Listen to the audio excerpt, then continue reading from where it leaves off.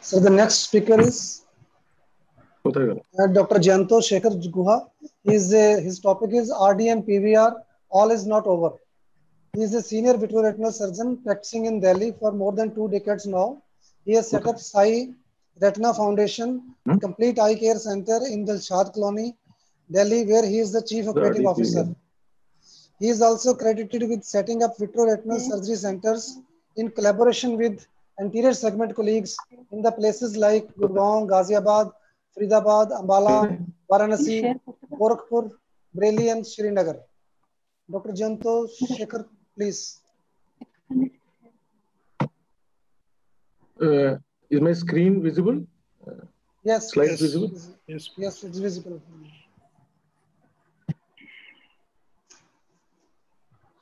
So thanks for the kind introduction.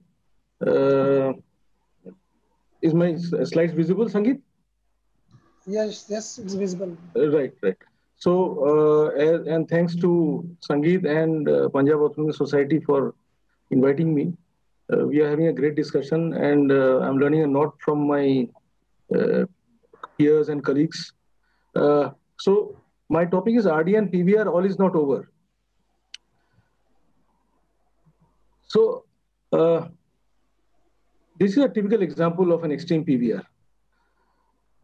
I remember uh, in one of the Frankfurt Retina meetings, uh, I had the occasion to speak to Dr. Živojnović, the famous uh, surgeon from Belgium. And I asked him that he is dealing with extreme PVR cases. Actually, he was the first person, one of the first person to start dealing in extreme PVR cases even with PL positive eyes, PR defective eyes. I said, sir, uh, what, why do you operate on these uh, impossible cases, inoperable cases? What, what is the visual gain ultimately? So he said, uh, Dr. Guha, uh, somebody has to take up this case because we, I can't leave these cases alone. My conscience doesn't allow me. So I was, uh, that set me up thinking. And then as I went in my career dealing with cases, uh, we I developed tried to develop a paradigm, uh, learning from my seniors and peers all over the world to tackle these extreme PVR cases. Now, as we all know, the basic, basic am I audible, Sangeet? Yes, yes, you're audible. Fine, fine, fine. So, some in between there was some noise. So, uh, basic principles of the surgical treatment of detachments complicated by PVR are those of detachment surgery in general. That is the closure and sealing of the retinal breaks and the complete release of periretinal traction.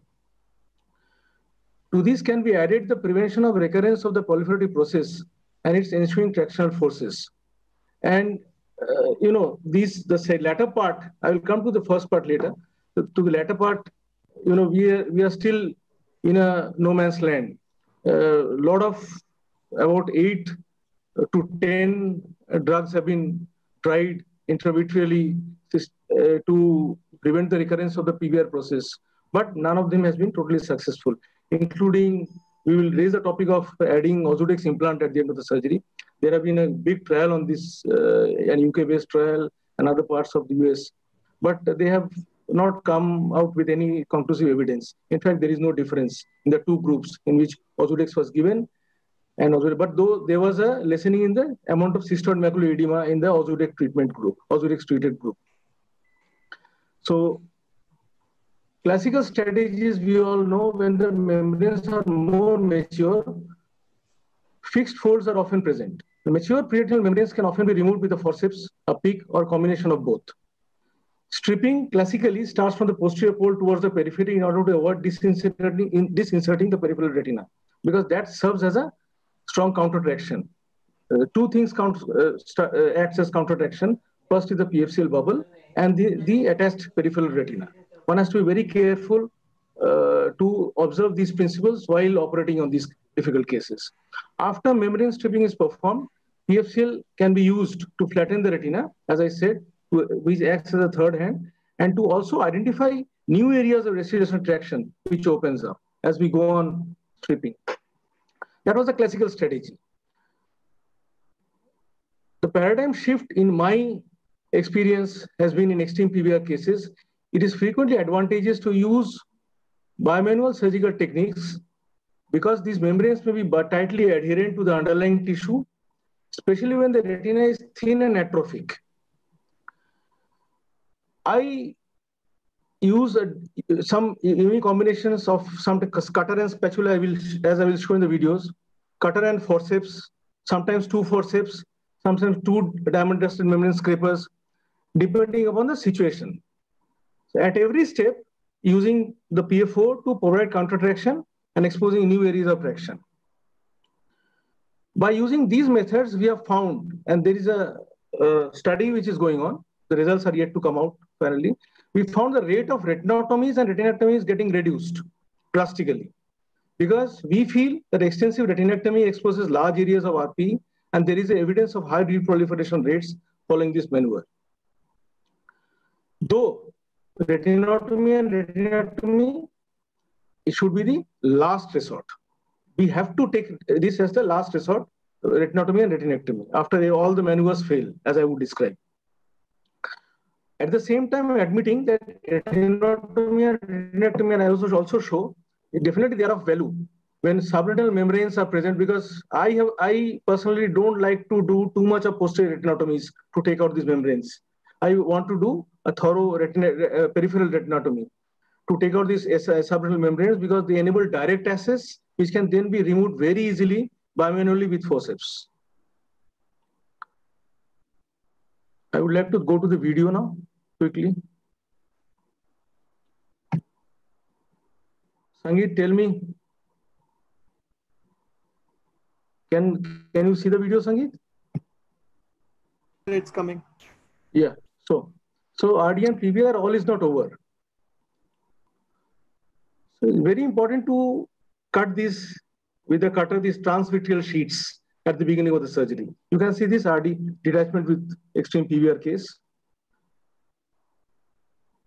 So I always use a chandelier.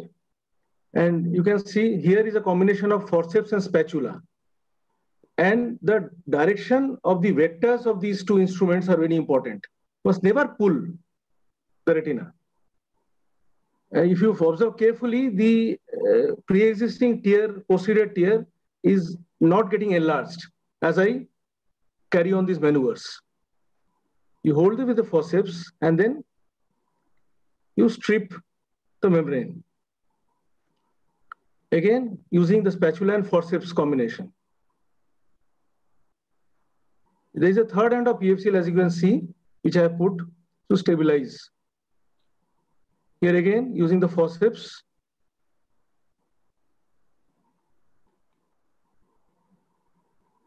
And the spatula. The spatula, I first saw these being used by Grazia Pertile of Italy. And then at every step, must go on because the, whenever you encounter the vitreous, vitreous rather than the membranes, it's very important to go on stripping the vitreous. Again, here I'm using two forceps. And here you see a settled retina at the end. So try to make an assortment of cases.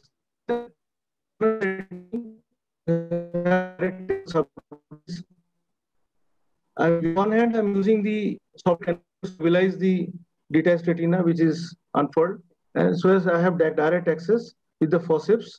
Again, another case, sometimes you can start, uh, you strip the posterior membranes, then you go towards the equator and put, put a drop of PFCL, cut the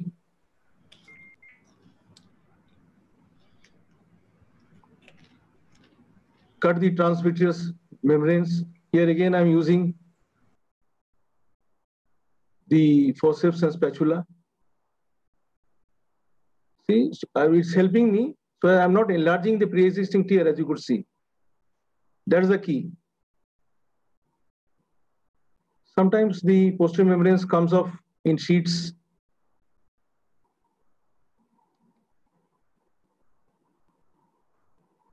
you can strip the membranes with forceps uni, uni manually. Put PFCL and then use DDMS to strip the membranes. And always compress the compressing effect of PFCL. The you shave the vitreous, go on shaving the vitreous, use the two forceps. Sometimes you have to take resort to retinotomy, as you can see in this case. When you all other maneuvers fail do a thorough laser. Here is another example of retinotomy and direct access to the subretinal membranes.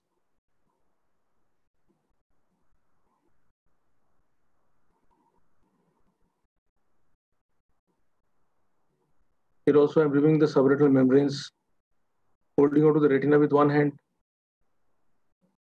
And here was a case of a foreign body with a detachment and PVR, RD with PVR. After taking out the foreign body, sometimes you're lucky enough to the to take out the membrane through a small retinotomy under the PFCL, as you can see. And just I would like to finish off by a provocation. Sometimes, I mean, we use Ozurdex implant at the end, though not yet, as I was saying, not yet entirely proved, but the jury is out on this. I just put a Ozurdex implant at the end to prevent recurrent PVR. Thank you so much for your kind attention. Thank you, sir. Thanks a lot for such a nice presentation.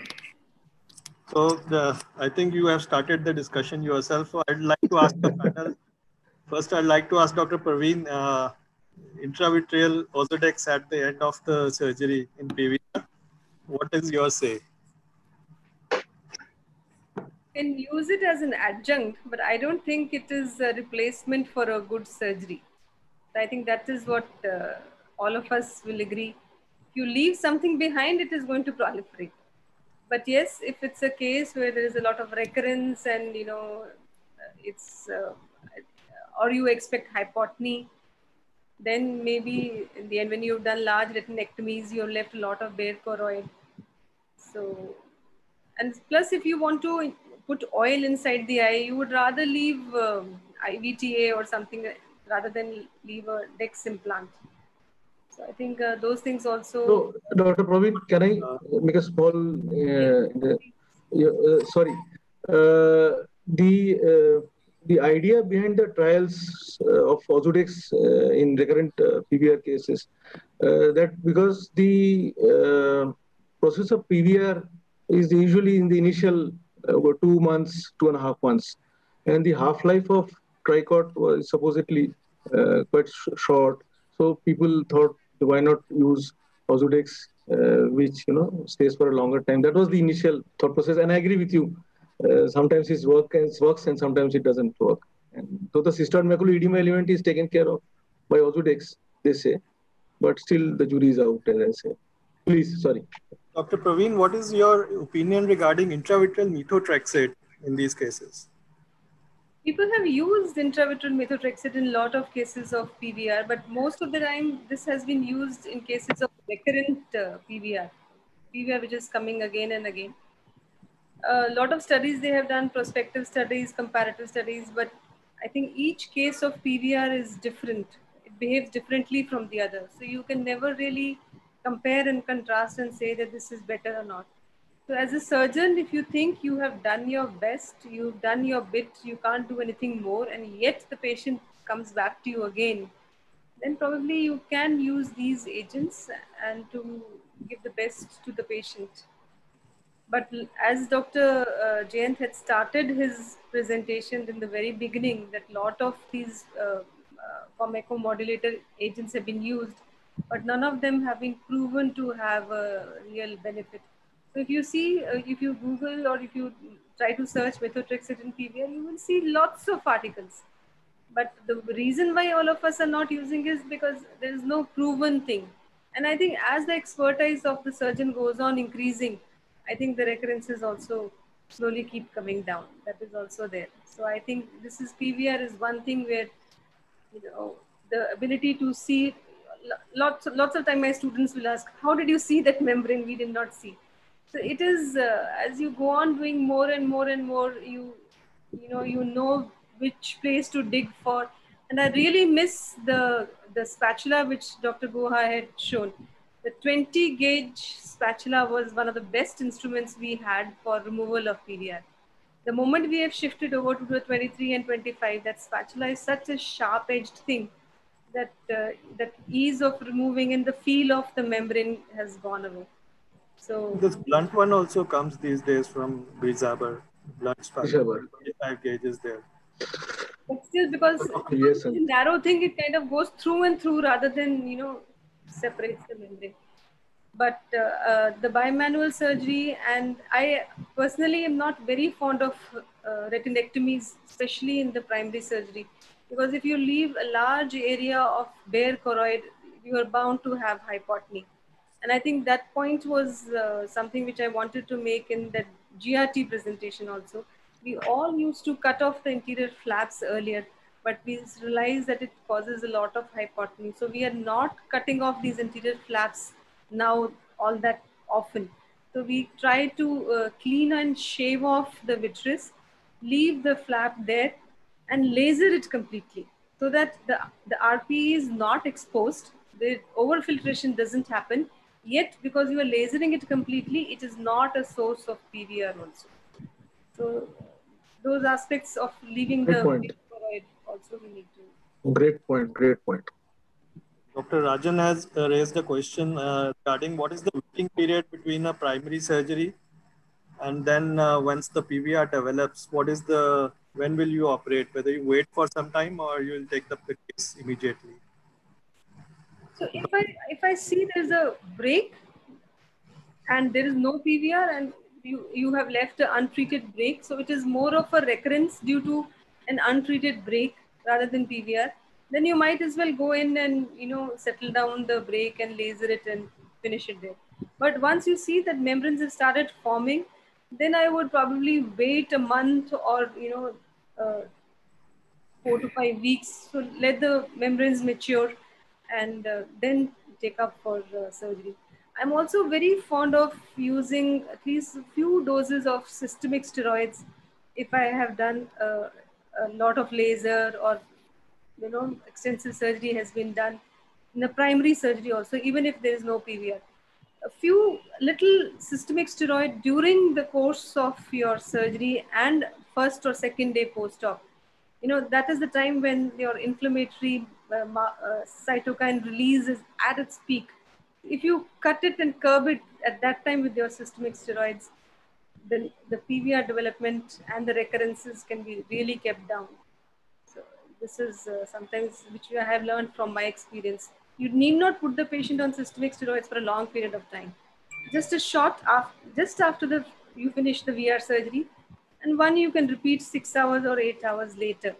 So that immediate release of the inflammatory um, mark, uh, products which is there because of your surgical intervention, your handling, your in, endolaser, all that is taken care of. Next day, the eye is nice, quiet, there is no swelling, and uh, that really look, works for me.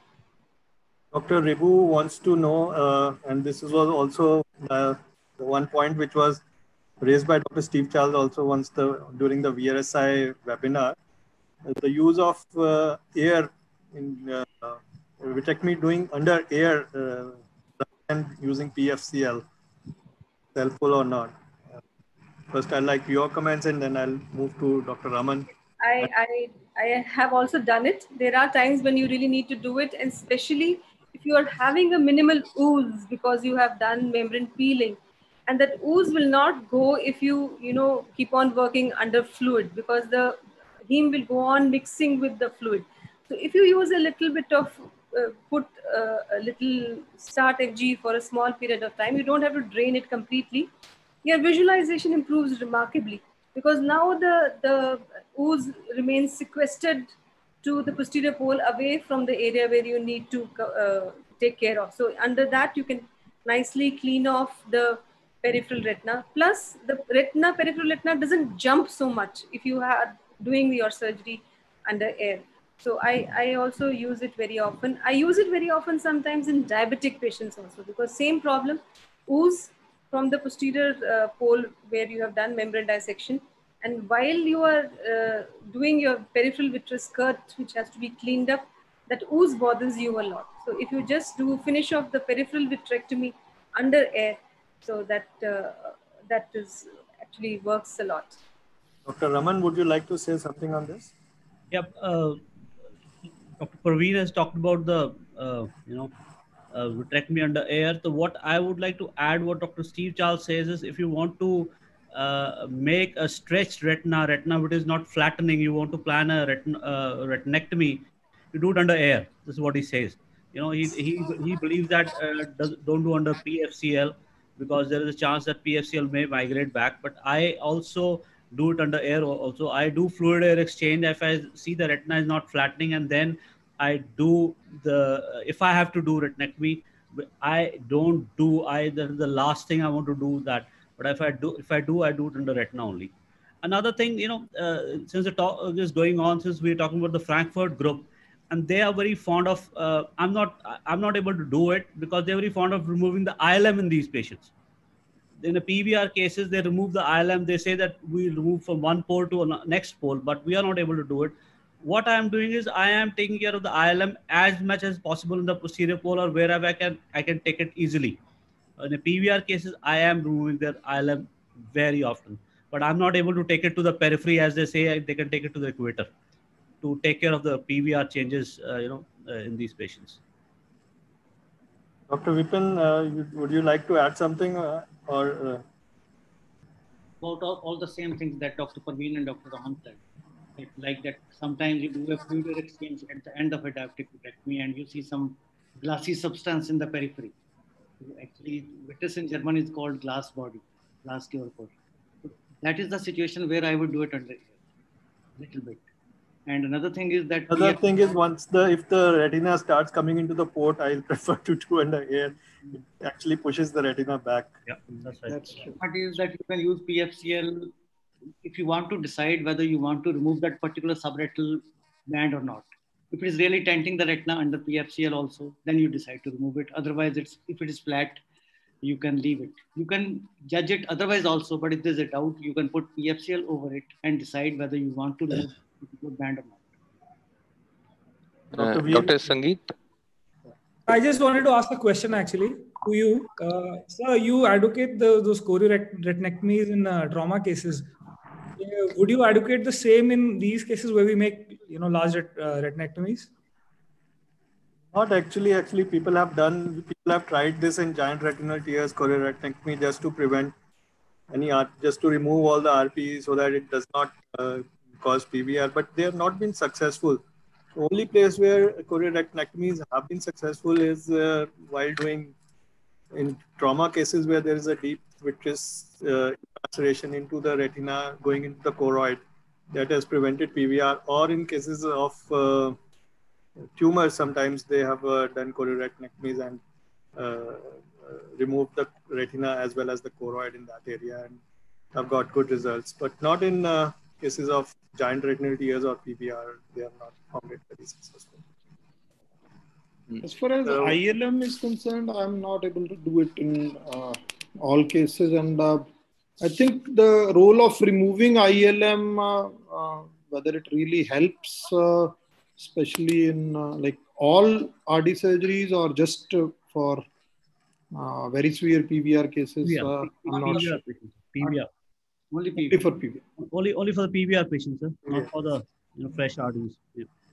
No need for that. So I think in that also it is uh, still debatable, is it? Absolutely, or, uh, everything.